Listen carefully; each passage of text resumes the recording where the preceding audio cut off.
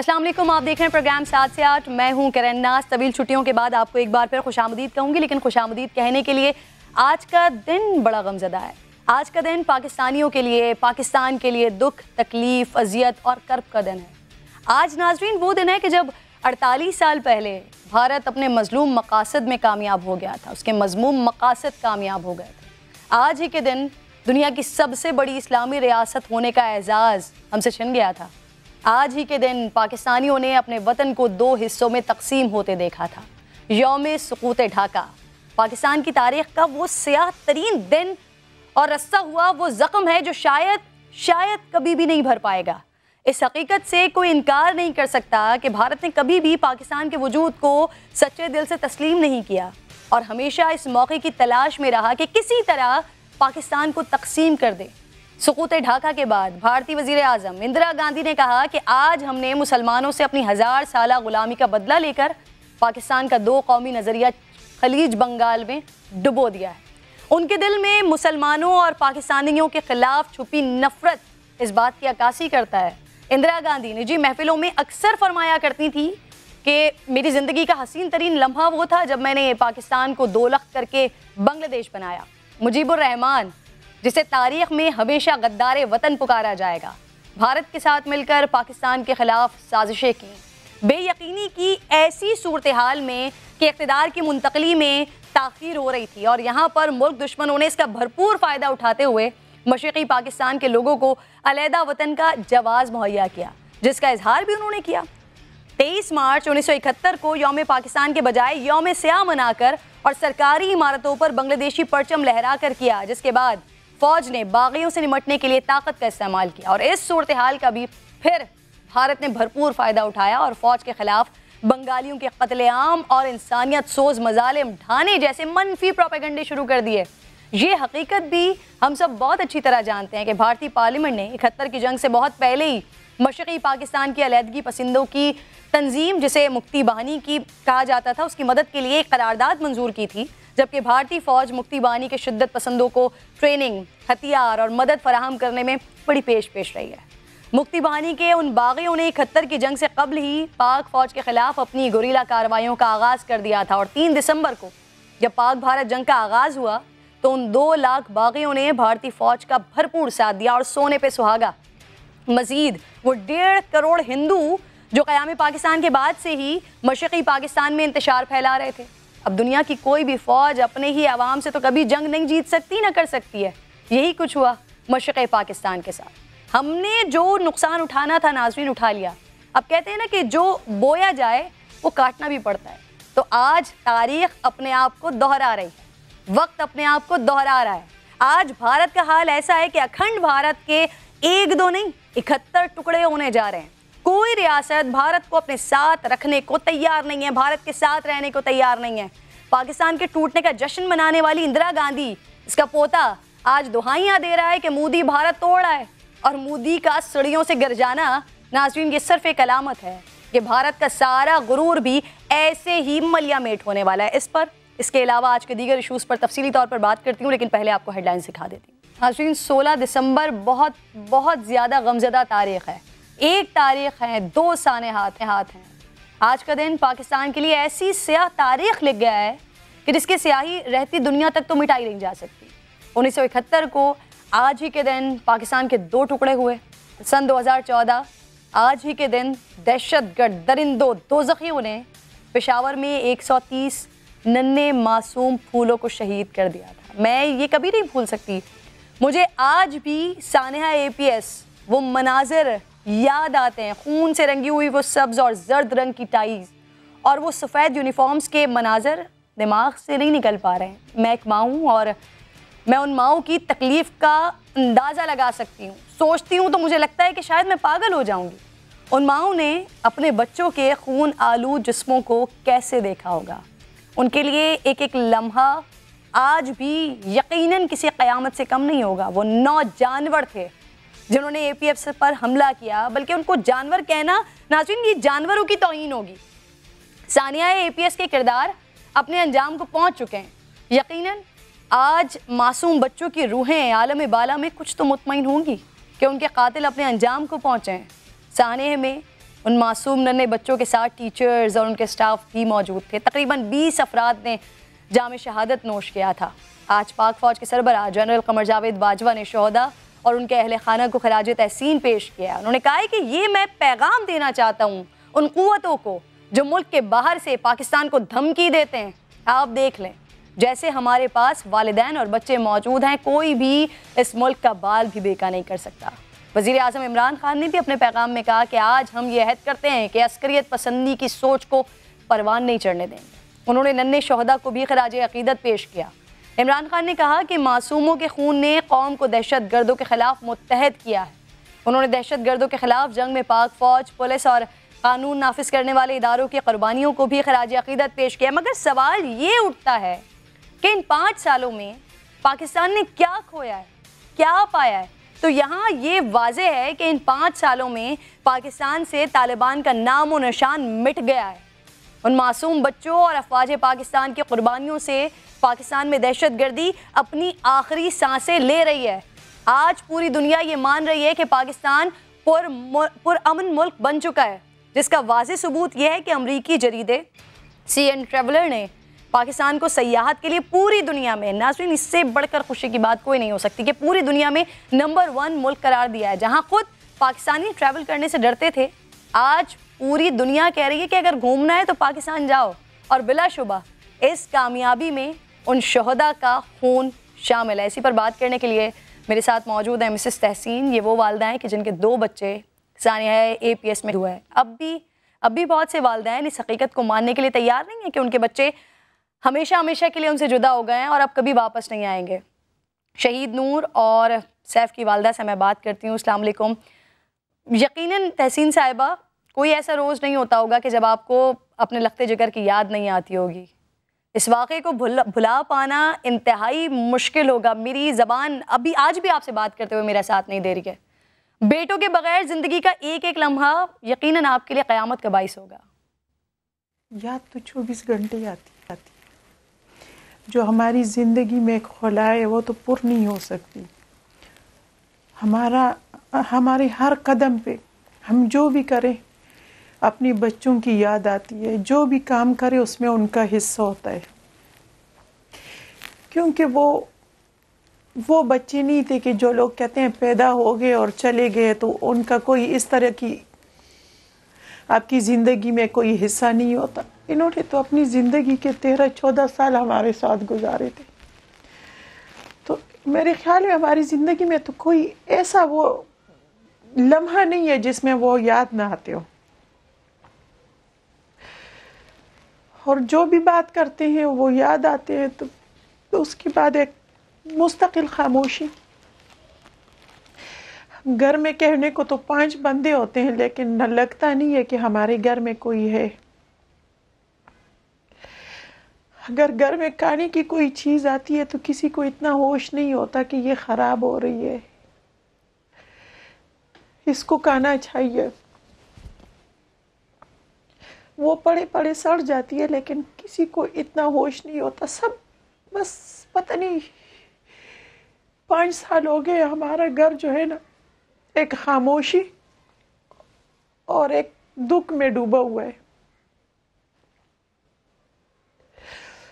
اور جب بھی بات ہوتی ہے، وہ بات انہی سے سٹارٹ ہوتی ہے اور انہی پہ ختم ہو جاتی ہے اور اس کے بعد ایک مکمل خاموشی ہم سب اوڑھ لیتے ہیں۔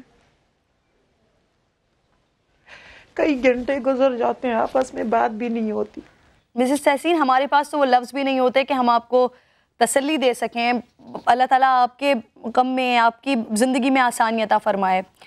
ہر والدین اپنی اولاد کے لیے کوئی نہ کوئی خواب ضرور سجاتے ہیں۔ نور اور سیف ان کے بارے میں بتائیں۔ کیا کرنا چاہتے تھے؟ مستقبل میں وہ کیا بننا چاہتے تھے؟ ذہنی طور پہ تو دونوں آرمی سے متاثر تھے۔ اور بڑا جو تھا وہ تو جمناسٹک اور ان چیزوں میں بڑا تیز تھا۔ وہ کہتا تھا، امی جب دہشت گرد آئے گا، ہم ایسے کریں گے، ہم ایسے کریں گے۔ ویسے پائلٹ بننے کا بڑا خواب تھا۔ ایک دن اپنی دادی پپو کو کہتے ہیں کہ بیبے جی آپ خفا نہ ہو۔ جب میں بڑا ہو کے پائلٹ بنوں گا نا تو آپ کو مفت میں جو ہے تو حج پہ لے کے جاؤں گا۔ کمپیوٹر کے دونوں اتنے ماہر تھے کہ آپ سوچ نہیں سکتے تھے کہ اس عمر میں انہوں نے کہاں سے دیکھا اور کہاں سے سیکھا۔ چاہے وہ ہارڈ ویئر تھا یا سافٹ ویئر تھا۔ کسی کا موبائل خراب ہوتا ہے چاہے وہ کتنا ہی بڑا مرد کیوں نہ ہوتا، ہمارے دروازے پہ آ کے آواز دیتی، نور اللہ، ذرا کہ یہ میری سیٹنگ خراب ہو گئی ہے، ٹھیک کر دو۔ ان کا ایک ہی خواب تھا کہ ہم بڑے ہو کے اپنے گاؤں کے لیے کچھ کریں گے اور اپنے گاؤں کا نام روشن کریں گے۔ لیکن ہمیں نہیں پتا تھا کہ وہ اس طریقے سے اپنے گاؤں کا نام روشن کریں گے۔ تحسین صاحبہ، آپ کی باتیں یقیناً جتنے بھی میرے ناظرین اس وقت پروگرام دیکھ رہے ہیں، ان کو بھی جھنجھوڑ رہی ہوں گی۔ ان کے بغیر عید یا دیگر تہوار نہ جانے آپ کس طرح مناتی ہوں گی؟ بس صبح اٹھتے ہیں، کھانا شانا بنا کے اور بس لیٹ جاتے نہ کسی کے گھر آنا اور نہ کسی سے ملنا۔ غم کی فوتگی ہو تو چلی جاتی ہوں، شادی ہو تو دل ہی نہیں کرتا کہ کسی شادی پہ جا جب مجبوراً بازار جا کے اپنے لیے کپڑے لینے پڑتے ہیں تو کوئی رنگ اچھا ہی نہیں لگتا۔ سفید کپڑے اٹھا کے لے آتی ہوں۔ بچے اپنی ماں سے بڑے قریب ہوتے ہیں۔ نور اور سیف کی اپنے والد کے ساتھ وابستگی کیسی تھی؟ اس بارے میں بھی کچھ بتائیے۔ نور اور سیف کی والد کے ساتھ اٹیچمنٹ مجھ سے زیادہ تھی۔ جب یہ ڈیوٹی سے آتے تھے، چوبیس گھنٹے ڈیوٹی کر کے آتے تھے، تو میں یہ دونوں اس کے اوپر چڑھ جاتے تھے۔ جب میں ان کو ڈانٹتی تھی، تو یہ مجھے کہتے تھے کہ چھوڑو۔ ان کو میرے اوپر چڑھنے دو کہ میری تھکن ختم ہو جائے۔ ان کے باپ نے کبھی بھی یہ نہیں کہا کہ میں تکا ہوا ہوں اور بچوں کو خاموش کرائیں۔ یہ ہمیشہ ڈیوٹی چوبیس گھنٹے ڈیوٹی کر کے دو گھنٹے کے لیے گھر آتے تھے اور پھر چلے جاتے تھے اور پھر دو بجے آتے تھے۔ لیکن اس نے کبھی نہیں کہا کہ میں نے اتنی لمبی ڈیوٹی کی اور میں تک گیا ہوں، بچوں کو خاموش کراؤ یہ آنکھیں بند کر کے پڑے رہتے تھے اور وہ اس کے اوپر اچھلتے کودتے تھے۔ اور جب ان کے لیٹنے کا ٹائم آتا تھا تو چاہے جتنی بھی گرمی ہوتی، ایک پاپا کے ایک ہاتھ پہ لیٹ جاتا اور دوسرا پاپا کے دوسرے ہاتھ پہ۔ جب ان کی چھوٹی بیٹی، بہن جو ہے، وہ تنگ کرتی تھی کہ نہیں، میری جگہ تو۔ ان کے پاپا کہتے تھے کہ ایک آ کے میری سینے پہ لیٹ جاؤ اور بہن کو جگہ دو۔ تو یا وہ آ کے سینے پہ لیٹ جاتی تھی یا ان دونوں میں سے ایک اٹھ کے اس کے سینے پہ لیٹ جاتا اور اس کو جگہ دے دیتے تھے۔ جو بھی بات منوانی ہوتی تھی وہ پاپا سے منواتے تھے۔ ان کو پتہ تھا کہ امی ایک دفعہ نہ کرے گی تو نہ کرے گی، پھر نہیں مانے گی۔ ان کی ضرورت کی جو بھی چیز ہوتی، ہر اتوار کو جیسے یہ اٹھ کے ناشتہ کرتے اور پاپا کو ہاتھ سے پکڑ کے کہ چلو پاپا، آج فش کا دن ہے۔ ہر اتوار کو یہ لوگ فش لے کے آتے۔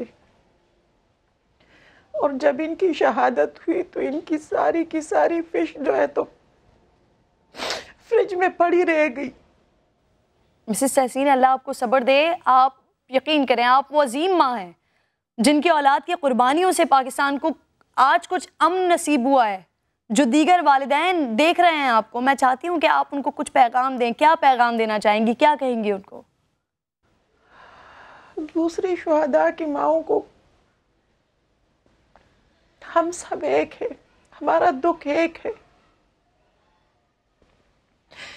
اور ہم ہی ایک دوسرے کو جب بھی ملتے ہیں، ایک دوسرے کو تسلی بھی دیتے ہیں، آپس کی باتیں بھی کرتے ہیں، اپنا دکھ بھی شیئر کرتے ہیں، اور ایک دوسرے سے مل کے خوش بھی بہت ہوتے ہیں۔ جبکہ باقی ماؤں کے لیے میری دعا ہے کہ خدا ان کو ایسے غم سے کبھی بھی آشنا نہ کرے۔ کبھی خواب میں بھی یہ غم خدا کسی کو نہ دکھائے جو ہم نے دیکھا ہے۔ اولاد کا دکھ بہت بیان سے باہر ہے۔ بہت مشکل ہے۔ جب تک ہم زندہ ہیں، یہ دکھ ہمارے ساتھ رہے گا۔ ہم کبھی بھی اپنے بچوں کو نہیں بلا سکتے۔ اور خدا کسی ماں کو اس طرح نہ رلائے جس طرح ہم پہ گزر رہی ہے۔ اور خدا کسی بچے کو وہ درد نہ دکھائے جو ہمارے بچوں نے دیکھا ہے۔ آمین اور جو آپ نے دعا دی ہے، یقیناً یہ یہ تمام والدین جب جب یہ سال آتا ہے، جب سولہ دسمبر آتی ہے، پھر سے وہ غم تازہ ہو جاتا ہے اور ہم تمام لوگ، تمام پاکستانی، یقیناً تمام مائیں، میں اس چیز پہ بہت زیادہ شیور ہوں کہ وہ یہی دعا کرتی ہوں گی کہ پاکستان میں کیا ساری دنیا میں اللہ تعالیٰ یہ وقت دوبارہ کبھی بھی کسی والدین کے اوپر نہ لے کر آئے۔ شوکت بشرا صاحب پاکستان تحریک انصاف سے میرے ساتھ موجود ہیں۔ رانا مشہود صاحب مجھے جوائن کر چکے ہیں، مسلم لیگ نون سے۔ آپ دونوں کو میں خوش آمدید کہتی ہوں۔ شوکت صاحب، آپ سے بات کا آغاز کرتی ہوں۔ سر، جب یہ تاریخ آتی ہے، لفظ ساتھ نہیں دیتے ہیں، بات کیا کریں؟ یہ بھی رہ جاتا ہے ہمارے پاس۔ یہ معصوم پھول، یہ جو ایک سو تیس جنازے اٹھے تھے اس دن، وہ تکلیف آج پانچ سال گزر جانے کے باوجود بھی کم نہیں ہوتی۔ ہے اور پھر آپ سوچیں کہ ہم تو عام لوگ ہیں، ہم نے سانحوں کو دیکھا ہے، لیکن وہ ماں باپ جو پچھلے پانچ سال سے یہ سب کچھ برداشت کر رہے ہیں، کیا کہیں گے؟ آپ آپ جب اس واقعے کو دیکھتے ہیں، آپ کیا سوچتے ہیں؟ کرن ناز سب سے پہلے تو تو اللہ تعالیٰ ان بچوں کو جنت الفردوس میں جگہ دے، ان کے ماں باپ کو صبر دے۔ یقین مانے، واقعی آپ نے صحیح کہا، میرے پاس تو الفاظ کی کیا چوائس کروں، کس انداز میں؟ ان بچوں کے لیے، ان ماں باپ کے لیے، جنہوں نے اتنی بڑی قربانی دی۔ تو میرا خیال ہے کہ میں تو، ابھی میں بہن کو سن رہا تھا، میں تو خود اتنا خود اتنا ایموشنل ہو گیا ہوں کہ ہر ہر آنکھ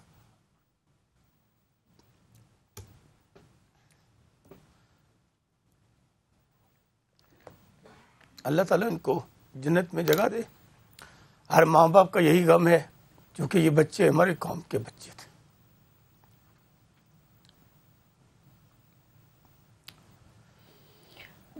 شوکت صاحب، میں آپ کی اس وقت سچویشن کو سمجھ سکتی ہوں اور یہاں پر شاید جتنے بھی مہمان میرے ساتھ موجود ہیں، مجھ سمیت ہم سب کی یہی حالت ہے، کیونکہ جب جب یہ یہ سال آتا ہے، یہ تاریخ آتی ہے تو تمام پاکستانیوں کے دل اور نہ صرف تمام پاکستانیوں کے بلکہ ہم نے دیکھا تھا کہ جب یہ ثانیہ ہوا تھا اس وقت ساری دنیا سے اسی طرح کا ریئیکشن آ رہا تھا کیونکہ یہ معصوم پھول تھے، یہ معصوم بچے تھے۔ مشہود صاحب، میں میں سمجھ سکتی ہوں کہ یقیناً آپ کی بھی حالت اس واقعے پر بات کرنے کے لیے ایسے ہی ہوگی آج۔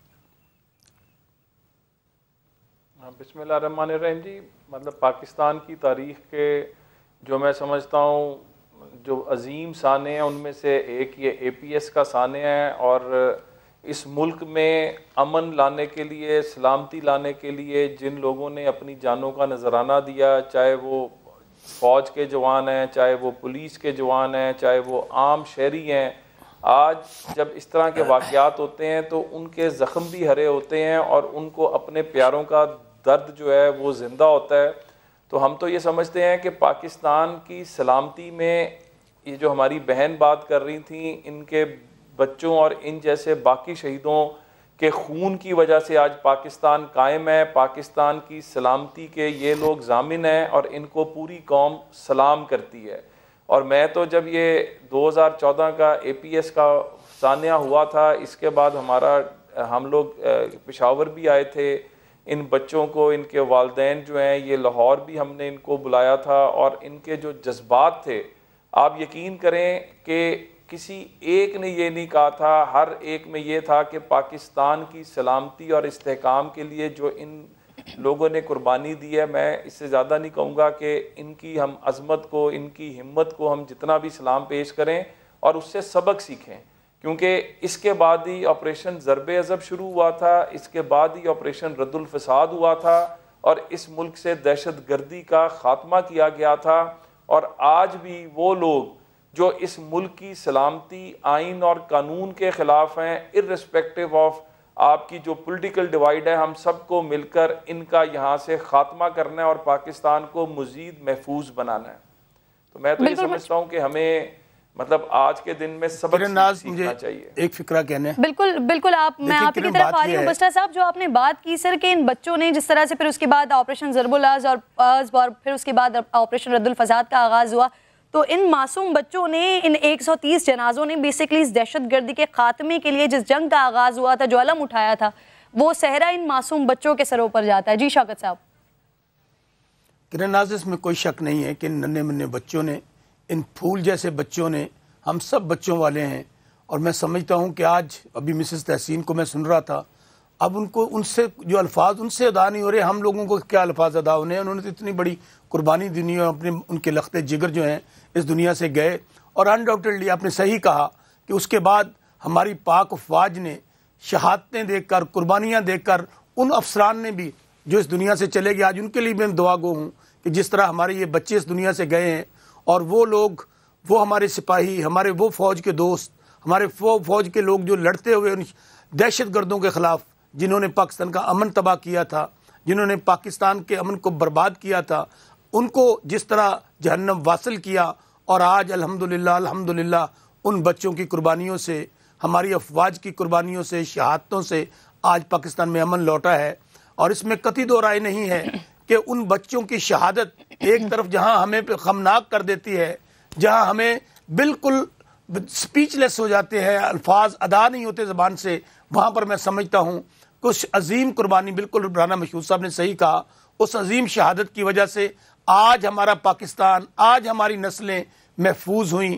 ہماری بارڈروں پہ لڑتے ہوئے ان شہیدوں نے ان افواج نے وہ بھی کسی ماں کے بیٹے ہیں جو شہادت میں لڑتے ہوئے جنگ میں لڑتے ہوئے جانے ہیں جو دہشت گردی کے خاتمے کے لیے ہم نے قربان کیے ہیں تو پاکستان کا بچہ بچہ دہشت گردی کے خاتمے کے لیے اور پاکستان کو ایک پر امن ملک بنانے کے لیے سب نے ایک بچے بچے نے اس میں اپنا کردار ادا کیا اور وہ ایک سو تیس یہ معصوم جنازے ہماری آنکھوں کے سامنے آج تک ویسے ہی موجود ہیں۔ ہاں میرے ساتھ ہی موجود اگلے ٹاپک کی جانب اب میں ان کی جانب بڑھنا چاہتی ہوں۔ کہ جو جب اس طرح کا کچھ سانحہ ہوتا ہے پاکستان میں یا پھر پاکستان ٹوٹتا ہے تو سرحد پار کتنی خوشی منائی جاتی ہے۔ کس طرح سے وہ پروپیگنڈے کرتے ہیں کہ پاکستان کو کسی طرح سے پاکستان کو کسی طرح سے توڑا جائے۔ لیکن آج کیا ہو رہا ہے بھارت میں؟ ذرا دکھاتی ہوں آپ کو۔ مودی، دنیا کی نظروں سے گرنے کے بعد زمین پر بھی آ گرے کالے کرتوت والے کو قدرت نے دنیا بھیا بھر میں رسوا کر کے رکھ دیا ہے۔ شہریت ترمیمی بل نے ہندوستان کو جلا کر رکھ دیا ہے۔ پورے بھارت میں مسلمان سڑکوں پر ہیں اور کیوں نہ ہو؟ اس مسودہ قانون کے تحت بنگلہ دیش، پاکستان، افغانستان، انڈیا سے آنے والے ہندو، بدھ، جین، سکھ، مسیحی اور پارسی مذہب سے تعلق رکھنے والے غیر قانونی تارکین وطن کو شہریت دی جائے گی، لیکن اس میں مسلمانوں کو شامل نہیں کیا گیا ہے۔ دنیا دیکھ لے، مودی کو مسلمانوں سے کتنی نفرت ہے۔ انڈیا میں شہریت کے متنازع ترمیمی بل کو حزب اختلاف سمیت دیگر سماجی حلقوں کی جانب سے سخت مخالفت کا سامنا ہے، جس کی وجہ سے ملک بھر کے مختلف شہروں میں حکومت مخالف مظاہروں اور ہڑتالوں کا سلسلہ جاری ہے۔ آسام کے علاوہ مغربی بنگال میں بھی متنازع قانون کے خلاف احتجاج کیا جا رہا ہے۔ اب تک مظاہروں میں جاباق ہونے والوں کی تعداد چھ ہو گئی ہے اور جامعہ ملیہ اسلامیہ یونیورسٹی میں مظاہرے کے درمیان پچاس سے زائد طلبہ زخمی ہو چکے ہیں۔ بھارتی پولیس، کالجز، اسپتالوں مساجد اور گھروں میں گھس کر نہ صرف نوجوانوں بلکہ خواتین کو بدترین تشدد کا نشانہ بنا رہی ہے۔ نئی شہریت کے بل کو پنجاب اور مغربی بنگال سمیت پانچ ریاستوں کے وزرائے اعلیٰ نے نافذ کرنے سے صاف صاف انکار کر دیا۔ آج ہندوستان کے اندر ناظرین وہ دن آ گیا جس کا خدشہ۔ حضرت قائد اعظم محمد علی جناح رحمۃ اللہ علیہ نے آج سے بہتر سال پہلے ظاہر کر دیا تھا۔ اے میرے قائد، میرے محترم، میرے عظیم رہنما تجھے سلام۔ شکریہ قائد اعظم۔ شکریہ علامہ اقبال کہ آپ نے ہمیں ہندوستان جیسے جنگل سے نجات دلائی ہے۔ جو لوگ ہندوستان سے علیحدگی پر سوال اٹھاتے تھے، آج وہ میرے قائد کے ویژن کو سلام پیش کر رہے ہیں۔ ہندوستان کائنات کے اندر جہنم بن رہا ہے ناز۔ مسلمانوں کے لیے ہندوستان کی زمین تنگ ہو گئی ہے۔ آج ان مسلمانوں کو یقیناً افسوس ہوگا، جنہوں نے پاکستان کے بجائے ہندوستان کو اپنا وطن کا پوری دنیا دیکھ رہی ہے کہ مودی کی حکومت نے مسلمانوں کے ساتھ کیا کیا ہے، کیا کر رہی ہے۔ امریکہ سمیت کئی ممالک نے اپنے شہریوں کو ہندوستان ٹریول نہ کرنے کا مشورہ دیا ہے۔ بات کروں گی آ کر کہ اپنی ہی لگائی ہوئی آگ میں اب بھارت جلنے جا رہا ہے۔ میرے ساتھ مہمان موجود ہے لیکن فی الحال مجھے بریک لینا ہے۔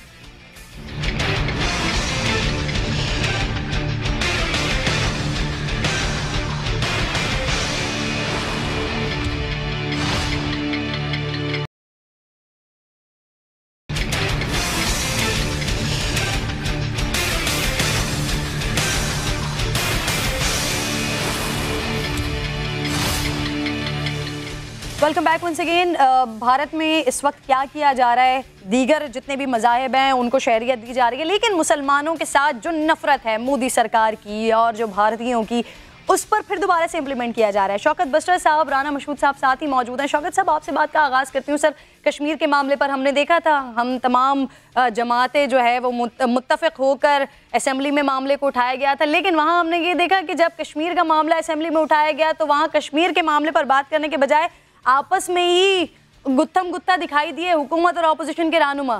سر، اب تو اتنی بڑی نسل کشی ہونے جا رہی ہے بھارت میں۔ نہیں سمجھتے آپ کہ ہماری جانب سے ایک ایسا میسج جانا چاہیے کہ ہم تمام ایک پیج پر نظر آئے، حکومت اپوزیشن سب ایک پیج پر نظر آئے، سب کی آواز ایک ساتھ جانی چاہیے۔ شوکت شوکت صاحب۔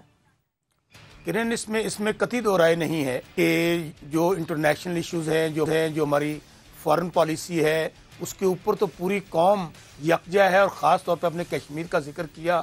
کشمیر تو پورے پاکستان کا مسئلہ ہے، پورے پاکستان کے مسلمانوں کا کلیکٹیو ایشو ہے۔ تو اس میں ظاہر ہے کہ اس میں اگر کوئی چھوٹی موٹی آپس میں ایشوز ہوتے بھی ہیں اپوزیشن کے ساتھ، تو میرا خیال میں اس کے اوپر سب یک زبان ہے اور دوسری بات کرن، جو آپ نے ٹاپک شروع کیا، دیکھیں، بات یہ ہے کہ یہ جو گجرات کا کساب اور کسائی ہے، اس سے بڑا دہشت گرد کون ہوگا؟ ابھی ہم جو پہلا ٹاپک ڈسکس کر رہے تھے، پاکستان کے اندر بھی امن و امان کی جو صورتحال خراب ہوئی، جو بلوچستان کے اندر ہوا، جو یہ اے پی ایس کا واقعہ ہوا، اس کے اندر بھی یہ دہشت گرد جو مودی ہے، اس کے ان کے فٹ سٹیپس ہیں۔ ان کی دہشت گردی کے وہاں پہ معاملات چل رہے ہیں اور یہ پاکستان کو کمزور کرنے کی سازش کرتے ہیں۔ لیکن مجھے خدا پہ یقین ہے کہ اب بھارت کے ٹوٹنے کا وقت آ گیا ہے۔ کیونکہ اللہ ایک ایک نظام اللہ کا جو اوپر چل رہا ہے اور وہی نظام ہے۔ باقی یہ جو آدمی سوچتا ہے، مسلمان جو ہیں، وہاں پہ اکثریت میں ہیں اور اب دیکھ لیجیے کہ مودی نے جو حرکت پہلے اس نے کشمیر میں کی اب جو کچھ بھارت کے اندر ہوا ہے یہی ہم کہہ رہے تھے آپ کو یاد ہوگا پرائم منسٹر عمران خان جب گئے تھے یو این او میں جب انہوں نے تقریر کی تھی انہوں نے یہی باتیں دہرائی تھیں کہ یہ جو مودی ہے یہ یہاں پہ نہیں کھڑا ہوگا یہ آر ایس ایس کا نظریہ لے کر ہندوتوا کا نظریہ لے کر یہ پورے بھارت کے اندر جتنی بھی اقلیتیں ہیں ان کو غیر محفوظ بنا دے گا۔ آج امریکہ بھی چیخ رہا ہے آج امریکہ بھی اپنے ٹور وزٹ کینسل کر رہا ہے، جاپان والے بھی کر رہے ہیں۔ اصل میں ان کی منافقت اور دوگلی پالیسی ہے۔ آج میں سمجھتا ہوں کہ پورے ہندوستان کے مسلمانوں کو بھی یہ میسج چلا گیا۔ دوسری اقلیتوں کو بھی میسج چلا گیا کہ یہ جو دہشت گرد ہے مودی، اس کے ہوتے ہوتے ہوئے اب امن نہیں ہو سکتا۔ لیکن انشاءاللہ اب چونکہ جب آپ اس حد تک چلے جاتے ہیں کہ آپ وہاں کی اقلیتوں کو وہاں کے مسلمانوں کو مسلمان وہاں پہ بائیس پچیس کروڑ کے قریب ہیں۔ جتنا پاکستان ہے اس سے زیادہ مسلمان وہاں بیٹھے ہیں۔ تو اب میرا خیال میں ان مسلمانوں کو بھی احساس ہوا ہوگا کہ جو بات پاکستان کہہ رہا تھا کہ کشمیر کے اندر ظلم ہو رہا ہے ہم سب کھڑے ہونا چاہیے ان کے خلاف تو اب وہاں سے آوازیں اٹھ رہی ہیں۔ آپ نے پہلے دیکھا کہ چائنا نے اس پہ سٹینڈ لیا تو اب پوری دنیا اس کے اوپر سٹینڈ لے گی۔ اور یہ جو دہشت گرد مودی ہے جس کے منہ کو خون لگا ہوا ہے ہم یہی کرتے ہیں کہ پوری دنیا اس کے اوپر سٹینڈ لے سر کیونکہ اس سے پہلے بھی ہم نے یہ دیکھا کہ آوازیں تو اٹھتی رہی ہیں کشمیر کے معاملے پر لیکن بارہ ہم نے یہ دیکھا کہ اقوام متحدہ سوتا رہا اب اپنے ٹورز کینسل کرنے سے یا پھر چیخنے سے تو کام نہیں چلے گا کوئی نہ کوئی تو ایسا سالڈ اقدام کرنا پڑے گا کہ بھارت کو روکا جائے کہ وہ کیا کر رہا ہے۔ رانا مشہود صاحب سر عمران خان۔ جی عمران خان صاحب کشمیر کے سفیر کے طور پر کام کر رہے ہیں۔ ان کی جو کوششیں ہیں کشمیر کشمیری مسلمانوں کے لیے، مسلم لیگ نون مطمئن ہے سر اسے دیکھیں، یہ بڑا کنٹروورشل ٹاپک ہے۔ اس کی وجہ کی وجہ یہ ہے کہ پہلی بات تو یہ ہے کہ آپ اگر تاریخ میں دیکھیں تو قائد اعظم محمد علی جناح صاحب کو جب انڈیا کو آزاد کیا جا رہا تھا تو ان کو یہ کی گئی کہ آپ جو آزاد ہندوستان ہے اس کے پہلے گورنر جنرل بن جائیں اور پاکستان کے معاہدے سے دستبردار ہو جائیں۔ اور وہ ویژن رکھنے والے انسان تھے۔ انہوں نے قائد اعظم نے کہا تھا کہ جب تک بر صغیر ہندو پاک میں ایک بھی مسلمان زندہ ہے تب تک دو قومی نظریہ زندہ ہے۔ کیونکہ ان کو پتا تھا کہ ہندو کی سائیکی جو ہے وہ مسلمانوں کے خلاف ہے۔ اور وہ مسلمانوں کو برداشت نہیں کر سکتے اور اسی لیے پاکستان کی بنیاد پڑی۔ پاکستان کو جو آزادی حاصل ہوئی، جو قربانیاں دی گئیں بدقسمتی سے، پاکستان بننے کے بعد پاکستان نے سہارا بننا تھا انڈیا میں بیٹھے ہوئے مسلمانوں کا، کیونکہ ایک مضبوط پاکستان جو ہے وہ ایک ایسی آواز ہونا تھا کہ انڈیا میں بیٹھے ہوئے لوگوں کے حقوق جو ہیں ان کی حفاظت بھی یہاں سے ہوتی۔ میں اس میں سیاست کرنا نہیں چاہتا، لیکن عمران خان صاحب نے کشمیر کے ایشو پر کیا کیا؟ وہ کہاں پر گیا؟ وہ جو آدھے گھنٹے جمعے کے بعد خاموشی اختیار کرنی تھی اور دنیا کو پیغام دینا تھا او آئی سی کے اندر کتنی جو ہیں وہ ہماری میٹنگز ہوئیں۔ آج انڈیا میں جو کچھ ہو رہا ہے، اس کے اوپر پاکستان کو مطالبہ کرنا چاہیے تھا کہ او آئی سی کا اجلاس فوری طور پر بلایا جائے، کیونکہ انڈیا زیادہ سے زیادہ فائدہ لیتا ہے یو اے ای سے، سعودی عرب سے۔ اس وقت مڈل ایسٹ کے اندر انڈیا جو ہے، اس کے مفادات بہت زیادہ ہیں، ان کا بزنس جو ہے وہ بہت زیادہ ہے۔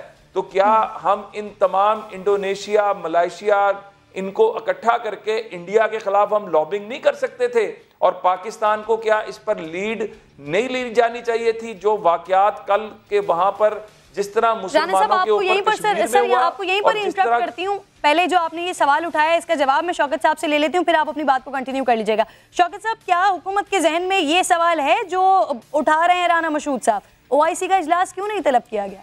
کرن کرن پہلی بات تو یہ ہے میں پھر کہوں گا کہ ہمیں اتنے نازک معاملات پر جہاں ہماری مائیں اور بہنیں زندگی اور موت کی کشمکش میں ہیں وہ آج ایک سو تیس یا چالیس دن ہونے کو ہیں یہ بھی نہیں پتا وہ زندہ ہیں یا کس حالت میں ہیں، تو میرے خیال میں میں پھر کہہ رہا ہوں، سیاست کے لیے بہت سارے میدان پڑے ہیں، ہمیں سیاست نہیں کرنی چاہیے۔ آج ایک بات تو یقینی طور پہ ہے کہ مسلمان امہ جو ہے، جو اتحاد ماضی میں کبھی ہوتا تھا، آج کیوں ذلیل رسوا ہو رہے ہیں تمام مسلمان؟ آپ مصر کو دیکھ لیجیے، آپ عراق کو دیکھ لیجیے، آپ فلسطین کو دیکھ لیجیے۔ اس کی وجہ ہے کہ اس کے بعد جب شاہ عرفات عرفات شاہ صاحب والے اس کے بعد آپ کے حسنی مبارک جیسے شاہ فیصل جیسے وہ لیڈر نہیں رہے۔ اب الحمدللہ پوری مسلم امہ دیکھ رہی ہے پرائم منسٹر عمران خان کی طرف اور طیب اردوان کی طرف۔ آپ مجھے بتائیے کون سا سٹینڈ نہیں لیا گیا؟ ہاں ہمیں بالکل تمام آپشن اختیار کرنے آپ کا کیا خیال ہے کہ یہ جو پرائم منسٹر ابھی ٹور پہ نکلے ہیں تین ممالک کے اس کی کیا ریزنز ہیں؟ اس کی وجہ یہ ہے کہ ایک پوائنٹ تو خود رانا مشہور صاحب نے کلیئر کر دیا۔ کہ تمام لوگوں کے اپنے کاروباری ایشوز ہیں تمام اپنے معاملات کو دیکھتے ہیں اس کے لیے ہمیں ایک اتفاق پیدا کرنا ہے ایک یکجہتی پیدا کرنی ہے ایک یگانگت پیدا کرنی ہے اس کے لیے ڈائلگ ہے۔ ہاں مسلمانوں کو ظاہر ہے اس وقت پوری دنیا پاکستان اس وقت الحمدللہ ایٹمی ملک ہے پورے مسلم امہ پاکستان کی طرف دیکھتی ہے اور لیڈر بھی وہ ہے جس نے بڑی دیر کے بعد میں سمجھتا ہوں یو این او کے اندر کھڑے ہو کر ان کے بدترین مخالف بھی ان کی تعریف کر رہے ہیں۔ کہ جس طرح انہوں نے اسلام کے حوالے سے مسلمانوں کے حوالے سے کشمیر کے حوالے سے جو پیغام دیا ہے جی۔ تو اب میرے خیال میں رانا مشہور صاحب سے میں گزارش یہ کروں گا کہ ہاں۔ سیاست ہوتی رہے گی کم از کم یہ کشمیر نہ تحریک انصاف کا ایشو ہے نہ نون لیگ کا ایشو ہے یہ پاکستان کا ایشو ہے یہ ہماری زندگی اور موت کا مسئلہ ہے۔ لیکن شوکت صاحب وزیر اعظم صاحب نے خود پارلیمنٹ میں کہا تھا کہ مشورہ دیں مشورے کو سنا جائے گا قبول کیا جائے گا۔ تو اگر یہ مشورے کے طور پر بات ہوتی ہے تو شاید اس میں اس کو سننے میں کوئی قبات نہیں ہے۔ لیکن رانا مشہود صاحب آپ کی بات کا جواب آ گیا۔ شوکت بشر صاحب کہہ رہے ہیں کہ وزیر اعظم صاحب جو تین ممالک کے دورے پر ہیں اس وقت بحرین پہنچ گئے ہیں۔ تو وہ یہ انہی کوششوں کا ایک پہلو ہے۔ دیکھیں میں پھر وہی بات ہے کہ اس وقت ایک ایک لمحہ کشمیر کے سردی آ چکی ہے کرفیو اتنی دیر سے ہے وہاں پر دوائیاں نہیں ہیں غذا نہیں ہے بچوں کی ایجوکیشن نہیں ہے۔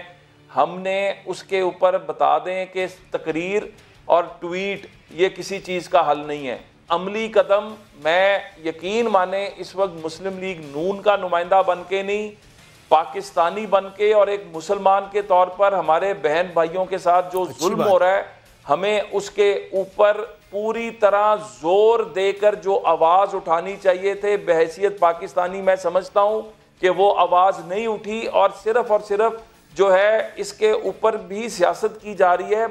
کل جی۔ سعودی عرب گئے ہیں۔ تو ہاں۔ وہاں سے کیا اعلامیہ کیا نکلا ہے؟ کیا کشمیر کا ذکر تھا اس میں؟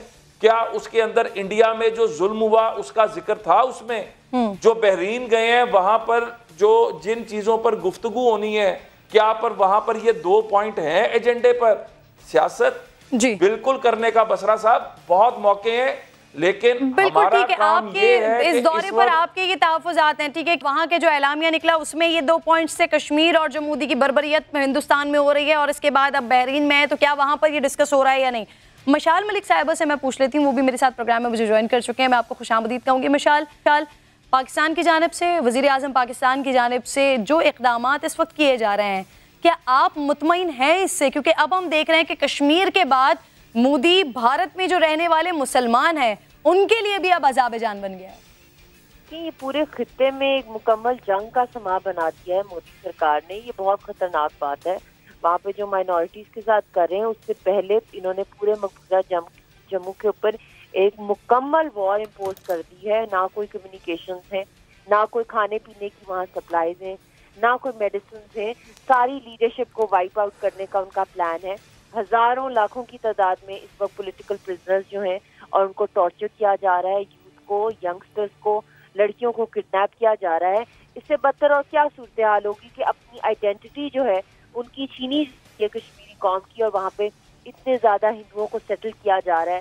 وہاں پہ ہندوستان کے بزنس مین جو ہیں ان کو ہزاروں ایکڑ کی لینڈ دی جا رہی ہے وہاں پہ انڈین آرمی پرسنل کے لیے۔ تو پورا مقبوضہ جموں کشمیر پہ ایک مکمل جو ہے پر اسکوائر فیٹ پہ قبضہ کیا جا رہا ہے۔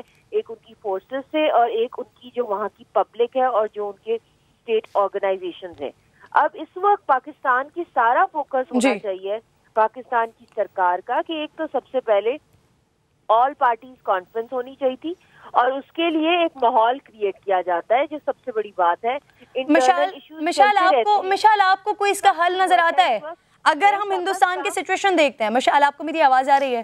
آپ جی، مجھے جی، بتائیں یہ- یہ جو آپ منظر کشی کر رہی ہیں پچھلے چار مہینے سے پانچ اگست کے بعد سے مسلسل ہم دیکھ رہے ہیں مسلسل چلا چلا کے بھی تھک گئے ہیں کہ کشمیر میں کیا ہو رہا ہے۔ اب آپ اگر ہندوستان کی ہم سچویشن دیکھتے ہیں اس پر بات کرتے ہیں آپ کو کوئی اس کا حل نظر آتا ہے؟ بی جے پی کو دیکھیے ہندوستان پر حکمرانی ہے ان کی، جو دل چاہے، جو مرضی کر سکتے ہیں۔ دیگر جو بیرونی طاقتیں ہیں، ان کے اپنے اپنے مفادات ہیں۔ اپنے اپنے ان کے ساتھ، ان کے ٹریڈ کے معاملات بھارت کے ساتھ چل رہے ہیں۔ فائنینشیل ان کے ساتھ معاملات چل رہے ہیں۔ تو کیا آپ کو لگتا ہے کہ اس مسئلے کا کوئی حل نکلے گا یا بی جے پی ایسے ہی چلی جائے گی جو پچھلے کوئی چار مہینے سے یہ ہو رہا ہے اور اب پورے بھارت میں مسلمانوں کے ساتھ ہونا شروع ہو گیا ہے؟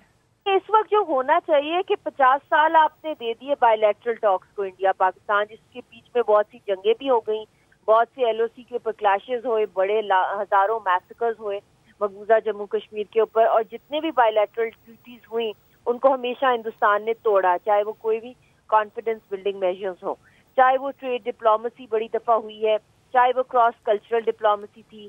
چاہے وہ کرکٹ ڈپلومسی تھی، بڑے طریقے تھے کہ ایک دوسرے کو قریب لایا جائے تاکہ جو کور ایشو ہے کشمیر کا وہ سالو کیا جائے۔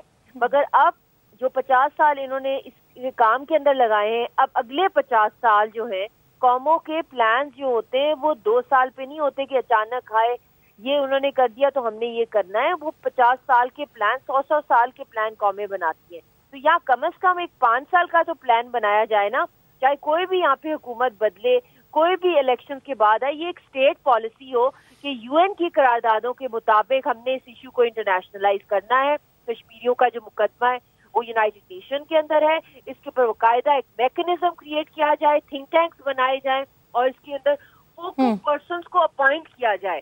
جو کشمیر کاز کو لے کے جائیں جو اسٹیک ہولڈرز ہیں کشمیر کے جو یہاں پہ خدایا جو وکٹمس بیٹھے ہوئے ہیں ایل او سی کے اوپر ہیں جو حریت کے ریپرزینٹیوز ہیں یہاں پہ ہم جیسے لوگ جو یہاں پر ہیں جو کہ لیڈ کریں اس تحریک کو ہم لوگوں کو آن بورڈ ہونا چاہیے۔ یہاں پہ جو کیبنٹ کی میٹنگز ہوتی ہیں پاکستان کے اندر پرائم منسٹر چیئر کرتے ہیں۔ ایک میٹنگ میں بھی ابھی تک کال نہیں کیا گیا۔ کشمیری ریپرزینٹیوز کو وہ میں نے جی۔ بہت بار دیکھی ہیں ہو رہی ہوتی ہیں بہت سے ایشوز کے اوپر کشمیر سے بڑا ایشو کون سا ایشو ہے ہاں۔ اور اس کے اوپر جوائنٹ سیشن ایک دفعہ پھر کال کیا جائے اور اس کو ہم لوگ ایڈریس کریں جو کشمیری اسٹیک ہولڈرز ہیں اور سینٹ کے اندر بھی ہو اور یہ کمیٹیوں سے ابو ہو گیا ہے معاملہ جی۔ یہ کمیٹیوں کی حد تک نہیں ہے اس کے اوپر جب تک ٹھیک ہے آپ کہہ رہی ہیں پچاس سال ہو گئے بائیلیٹرل اب آگے بڑھنا ہوگا اب آگے پچاس سال کی پالیسی کو واضح کرنا ہوگا شوکت بسرا صاحب، کشمیری رہنما اس بات پر اعتراض کر رہے ہیں کہ انہیں آن بورڈ ہی نہیں لیا گیا۔ سر، کیوں کیا گیا ایسا؟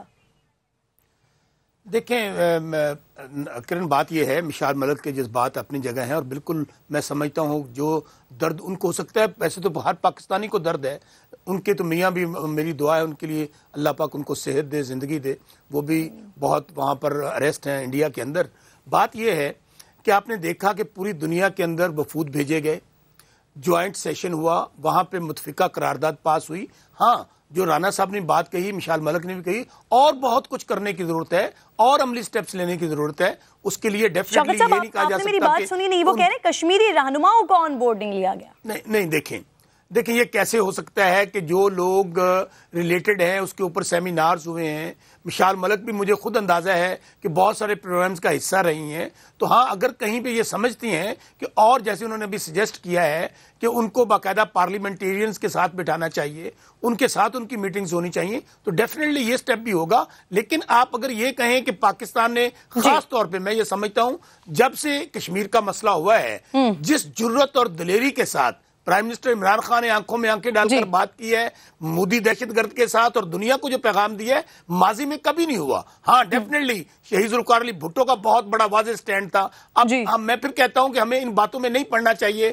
اس کے اوپر ہمیں کہیں بھی یہ تاثر نہیں جانا چاہیے کہ ہم اکٹھے نہیں ہیں۔ ہم جی۔ یک زبان نہیں ہیں کوئی اگر چیز ہے بھی تو ہم ہمیں پارلیمنٹ ڈیوائڈڈ کے اندر نہیں ہیں بیٹھ کے ہم متحد ہیں اس ایشو پر۔ ہاں۔ مسلمانوں کے لیے کشمیریوں کے لیے اس وقت اپوزیشن ہو یا حکومت ہو یا پاکستانی عوام ہو تمام کے تمام لوگ ایک ہی خواہش رکھتے ہیں کشمیر کی آزادی اور بھارت میں جو کچھ مسلمانوں کے ساتھ یہ قصاب مودی کر رہا ہے اس سے اس کا چھٹکارا۔ اگلے ٹاپک کی جانب بڑا مہمانوں کا بہت بہت شکریہ ساتھ دینے کے لیے۔ آگرہ کے تاج محل ناظرین اس کا نام تو آپ نے سنا ہوگا۔ لیکن آج آپ کو میں دکھانے جا رہی ہوں سندھ کا تاج محل۔ سندھ کا تاج محل ہے کیا؟ کون بنوا رہا ہے؟ کہاں بن رہا ہے؟ کس کے لیے بنوایا جا رہا ہے؟ ایک ایسا صوبہ جہاں کتے کے کاٹنے کی ویکسین کا بجٹ نہیں ہے۔ ماؤں کے پاس بچوں کی لاشیں لے جانے کے لیے ایمبولینسز نہیں ہے۔ بھٹو کے شہر لاڑکانہ میں ایڈز کا علاج مرض۔ لا علاج ہے یہ۔ جانے نکل رہا ہے۔ مگر سندھ سندھ حکومت کا رونا ہے کہ مریضوں کی اسکریننگ کے لیے پیسے نہیں ہیں۔ کراچی ملک کا معاشی ہب تباہ حال ہے۔ سندھ حکومت کہہ رہی ہے کہ بجٹ ملتا نہیں ہے، مگر اسی شہر میں ناظرین کرام، اسی شہر میں سندھ اسمبلی کے ایک سو اڑسٹھ اراکین اسمبلی کے لیے اربوں روپے کا عالی شان رہائشی ہاسٹل تعمیر کیا جا رہا ہے۔ دس اور چودہ منزلہ، دو ٹاورز پر مشتمل۔ اس ایم پی اے ہاسٹل میں دو سو افراد کے رومز اور وی آئی پی سویٹس ہوں گے۔ دو ہزار چودہ میں جب یہ پروجیکٹ شروع ہوا تو ابتدائی لاگت اس کا تخمینہ تقریباً تھا ایک ارب ستر کروڑ۔ پھر دو ہزار سترہ میں اچانک اس کی قیمت میں بہت بڑا جمپ کر کے لاگت ساڑھے پانچ ارب روپے تک پہنچا دی گئی ہے۔ اور یہ اس لیے اچھمبے کی بات نہیں ہے کیونکہ سندھ حکومت کے جو تمام پروجیکٹس میں ہم یہی دیکھتے آ رہے ہیں۔ اب صرف یہی نہیں ہے جناب۔ انہی ماہ قبل کچھ کچھ ماہ قبل پھر سندھ اسمبلی نے محکمہ پلاننگ اینڈ ڈیولپمنٹ سے مزید ڈھائی ارب روپے مانگ لیے ہیں۔ حیرانگی کی بات یہ ہے کہ سندھ میں تمام پروجیکٹس کے کام محکمہ ورکس اینڈ سروسز کے ذریعے کرایا جاتا ہے لیکن اس شاہی ہاسٹل کے لیے۔ سندھ اسمبلی کی جانب سے من پسند افسر کو کانٹریکٹ پر رکھا گیا ہے۔ عمومی طور پر لگژری فلیٹس پر ڈھائی سے تین ہزار فی اسکوائر فٹ کے اخراجات آتے ہیں، لیکن سندھ کے اس تاج محل پر ساڑھے نو ہزار روپے فی اسکوائر فٹ کی لاگت آ رہی ہے۔ منصور مغیری صاحب میرے پاس موجود ہیں، میرے ساتھ موجود ہیں، ان سے بات کر لیتی ہوں۔ منصور مغیری، جیسا کہ آغاز میں ہم نے بتایا، کتے کے کاٹنے کی ویکسین کے لیے پیسے نہیں ہوتے سندھ حکومت کے پاس۔ کسی مرض کے لیے پیسے نہیں ہوتے ہیں ایمبولینسز کے لیے پیسے نہیں ہوتے۔ ہیں لیکن یہ دیکھیے، جو شاہی مہمان خانہ بن رہا ہے، یہ ہاسٹل بن رہا ہے اس کے لیے بجٹ میں بھی جمپ پہ جمپ آتے جا رہے ہیں اور من پسند لوگوں کو کانٹریکٹ دیا جا رہا ہے۔ بتائیں گے کون ہے؟ ذرا کس کے من پسند ہے یہ؟ ہاں کرن، یہ سندھ کی بہت بڑی بڑی بدقسمتی ہے کہ ہمارے جو حکمران ہیں، وہ سندھ کے اوریجنل ایشوز کو سمجھتے نہیں ہیں۔ جہاں پیسہ لگانا چاہیے، وہاں پیسہ لگتا نہیں ہے اور جہاں پیسہ نہیں لگانا چاہیے، وہاں پیسہ لگا رہے ہیں۔ اب سندھ اسمبلی کی جو نئی بلڈنگ بنی اس پہ تو پھر میں بعد میں آؤں گا، ایک الگ اسٹوری ہوگی، لیکن جو ایم پی ایس کے لیے ہاسٹل بنائی جا رہی ہے دو ٹاورز ہیں، ایک چوبیس منزلہ ہے، ایک جو ہے دس منزلہ ہے۔ خواتین کا الگ ہے، مردوں کا الگ ہے۔ تو اس پہ جو ہے دو ہزار چودہ میں پروجیکٹ شروع ہوا، جو تخمینہ ایک ارب ستر کروڑ لگایا گیا۔ پھر ان لوگوں نے اچانک جو ہے دو ہزار سترہ میں اس کو کمپلیٹ کرنے کے بجائے بہت بڑا جمپ لگایا ہے۔ ساڑھے پانچ ارب روپے تھے لے کے گئے۔ ساڑھے پانچ ارب روپے لینے کے باوجود اب جو ہے ایک ماہ قبل جب وہاں پر میٹنگز ہوئی پی این ڈی میں تو جو سندھ اسمبلی کے جو پروجیکٹ ڈائریکٹر ہیں اس پروجیکٹ کے انہوں نے کہا کہ مزید ڈھائی ارب دیں۔ آپ سوچ سکتی ہیں کہ سندھ میں یہ تاج محل بنا رہے ہیں۔ شاہ جہاں نے تو اپنی جو محبوب بیگم تھی ان کے لیے ممتاز بیگم کے لیے آگرہ میں تاج محل بنایا تھا اور یہ سندھ حکومت کا محبوب کون ہے؟ سندھ حکومت کا محبوب کون ہے؟ منصور مغیری صاحب میرے ساتھ حلیم عادل شیخ صاحب بھی مجھے جوائن کر چکے ہیں میں ان کو بھی خوش آمدید کہتی ہوں۔ حلیم عادل شیخ صاحب کس کی خواہش پر بن رہا ہے؟ یہ ہاسٹل سر حکومت کی یا پھر اپوزیشن کی؟ اور سر ساٹھ ایم پی ایس کے تعلق تو کراچی سے ہے۔ یہ دو سو بیس فلیٹس کس کے لیے بن رہے ہیں؟ مجھے بہت افسوس کے ساتھ کہنا پڑ رہا ہے کہ آج کل کی ایک خبر تھی کہ تھرپارکر کے سول ہاسپٹل میں کھانا بند کر دیا گیا ہے، انہوں نے کہا پیسے نہیں ہیں۔ تھر پارکر میں ایمبولینس سروس بند ہو چکی ہے مرتے ہوئے بچوں کے لیے کہ وہ کہتے ہیں ہمارے پاس فنڈز نہیں ہے پیٹرول پمپ کا بل نہیں ادا کیا گیا۔ اور اس کے بعد منصور مغیری صاحب نے، میں سمجھتا ہوں کہ بہت بڑا کردار ہے ان کا سندھ میں بے نقاب کرنے کا، بہت بڑے مافیاز کو، اور اللہ ان کو سلامت رکھے، یہ انہوں نے بھی بڑے بڑے بڑے لوگوں میں ہاتھ ڈال دیے ہیں افسوس، یہ یہ فلیٹ کسی کے لیے نہیں بن رہے۔ یہ کوئی ایم پی ایس کا درد ان کو نہیں ہے۔ یہ جو کٹ اس میں سے نکلے گا، جو کک بیک نکلے گا، جو کمیشن ہوگا، جو کرپشن ہوگی، اس کو کھانے کے لیے ہو رہا ہے۔ افسوس کی بات ہے، ایک ارب ستر کروڑ، اس کے بعد ساڑھے پانچ ارب، اس کے بعد سات نہیں، آٹھ ارب تک پہنچ گیا۔ یہ وہ لوگ ہیں ابھی تو جیسے بغیری صاحب نے فرمایا کہ سندھ اسمبلی کی بلڈنگ کی بھی عجب کرپشن کی غضب داستانیں موجود ہیں۔ اور آج اجلاس میں پچاس پچاس لاکھ روپے کا اجلاس ہوتا ہے جسٹ فار پروڈکشن آرڈر اور یہ جو انہوں نے نو ہزار روپے اسکوائر فٹ حقیقت تاج محل کیا ہے تو پتہ نہیں کیا بن سکتا ہے۔